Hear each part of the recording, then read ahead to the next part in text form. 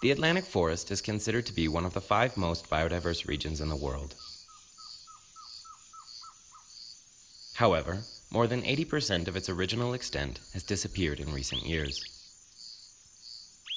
Since 2016, we have been promoting the cultivation of shade-grown yerba mate in the San Rafael Reserve for National Park, Tekoha Guasu, and the surrounding area through the project Yerba Mate, a market-driven model to conserve Atlantic forest implemented by Guyra Paraguay and BirdLife International with support from the Darwin Initiative. This project was developed to provide alternatives to the communities that live in the area, to help meet their basic needs and to reduce human pressure on the remaining forest.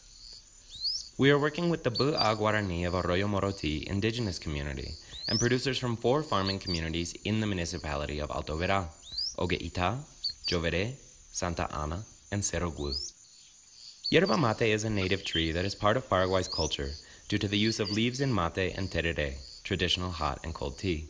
In addition, indigenous communities such as the Mbya Guarani consider it part of some of their rituals. Yerba mate is a basic household ingredient and has numerous nutritional properties. Cultivating yerba mate under shade in forests that are being conserved or restored represents a viable alternative for producers to generate an income that allows them to improve their quality of life and at the same time support forest conservation. Although communities in the area are experienced in producing yerba mate, this is usually done in open fields with no shade trees and with the use of chemical inputs. With this initiative, we are promoting organic management, which is low cost and easy to implement, promoting the conservation of soils, forests, and biodiversity, and returning the yerba mate to the forest from where it originates.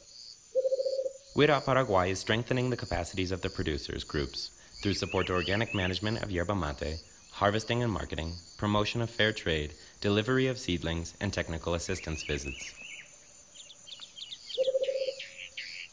To date, the communities have planted 48 hectares of yerba mate under shade, and we plan to continue supporting them to complete the value chain to marketing and sales of their products.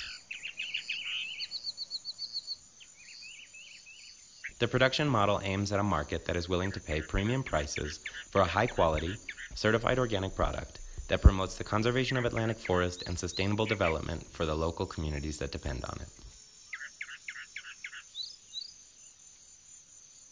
The initiative Ka'a Ka'agu represents great hope among the communities that live in and around San Rafael and proves that alternatives can be developed to produce and conserve our biodiversity.